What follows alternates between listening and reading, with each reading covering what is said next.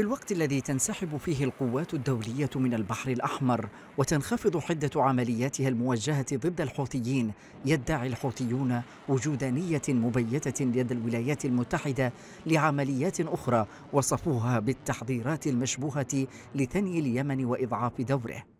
يستخدم الحوثيون حرب غزة ودورهم في البحر الأحمر لعدد من الغايات. يأتي على رأسها التهرب من استحقاقات السلام خاصة مع إصرار السعودية على الالتزام بسياسة خفض التصعيد وتوجهها المتعجل للخروج من الأزمة اليمنية. تصعيد الحوثيين في البحر الأحمر بدأ في أكتوبر الماضي وساعدهم في تحسين سمعتهم أمام الرأي العام العربي والإسلامي. من خلال تقديم جماعاتهم نصرة للمظلومين في غزة غير أن وهج ولمعان هذه الحرب قد بدأت في الأفول. وبحسب مراقبين فإن سلوك الحوثيين التقليدي يشير إلى أنهم سيبحثون عن أزمة أخرى للاستثمار على هامشها. وليس هناك من الوقت الحالي أفضل من التلويح بعدوان أمريكي.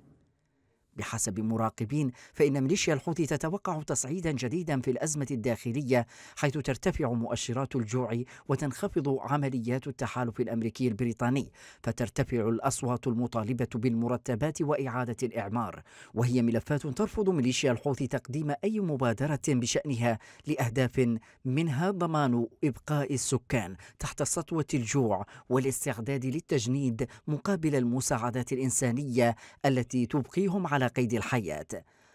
المجلس السياسي التابع لميليشيا الحوثي هدد سكان العالقين في مناطق الجماعة من خلال ما وصفه بالتشديد على تماسك وصلابة الجبهة الداخلية اليمنية في مواجهة المؤامرات الأمريكية والبريطانية والقول إن الجهات الرسمية معنية باتخاذ القرارات الحازمة تجاه كل من يتورط في زعزعة الجبهة الداخلية ويقصد بها المظاهرات أو المنشورات المطالبة للحوثيين بتسليم مرتبات موظفي الدولة.